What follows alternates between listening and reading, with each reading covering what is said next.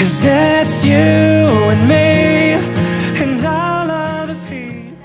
I love you for all that you are, all that you have been, and you're yet to be.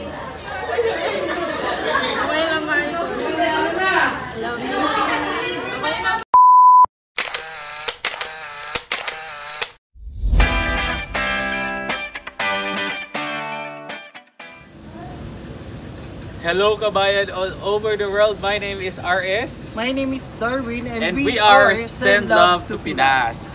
And in uh, sa delivery natin na to, uh, uh, of course, this is a Valentine's Day surprise uh, for Miss Mary Goldwyn Olido from Sir Jaime of Taiwan. And uh, andito tayo ngayon sa Department of Education in Trece Martires, Cavite. And uh, special tong, bukod sa Valentine's Day surprise, special din to kasi belated anniversary uh, nila ma'am at sir. So, for today, for this surprise, aalimin natin ang isang aral ng pagmamahal. Yes. So, let's go and spread love.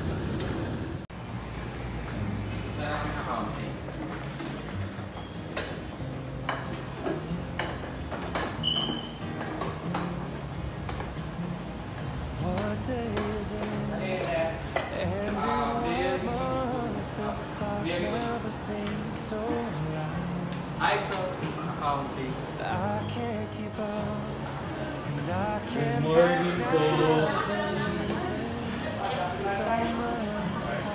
Mary Olido po. Good morning po. At taga send love po, Pinas po kami, pinadala po kami ni Sir Jaime from Taiwan. Doon na tayo bang paraan? Kasi...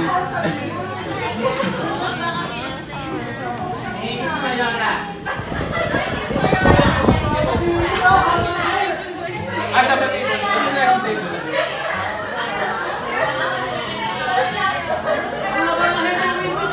Ah, babo. Flowers. Maraming cake din. And panda. Favorite yung panda? yes. And so, habang binubuksan ni Darwin yung cake, bring me, yung cake.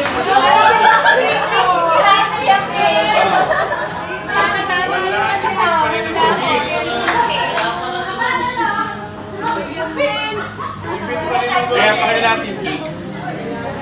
Happy Valentine's Day.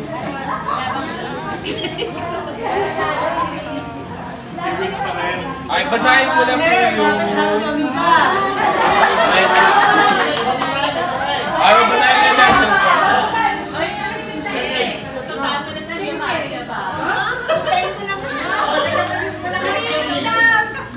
Pali, si Randall! Sa magkano kaya ang buhay? Ay, basahin ko na po yung message. Si Stella, nakaluki pa ng book ni Stella! Thank you sa lahat sa effort, sa pagtitiis, sa pag-aantay, sa love, sa existence mo. Thank you for making me feel loved and special. Haha. Wala na ako masabi. I love you for all that you are, all that you have been, and you're yet to be.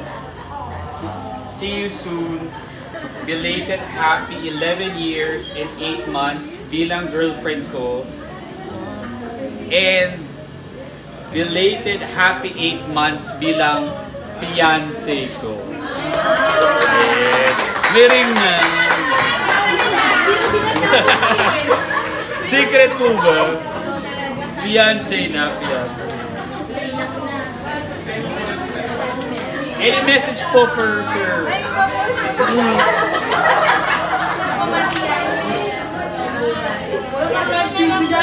Uh, kahit maiksi lang po para sa video, kasi papadala namin sa kanya agad. Hindi. uh, Thank you. Hindi ko na. Okay naman. Alright, I love you daw and thank you. Nahiya pa si ma'am. Palakpakan naman natin Sir Jaime. Pakinalagin po ang ano, accounting ng Ayaw, nahab nahabol ako, kukuhanin ko din sila. Kukuhanin ko din sila para sa akin. Na-surprise mo kayo, ma'am. Yes. And if you'd like to surprise your loved ones here in the Philippines, just uh, like our page, it's Send Love to Pinas. We deliver surprises anywhere here in the Philippines. My name is RS, and we are Send Love to Pinas. Happy Valentine's Day.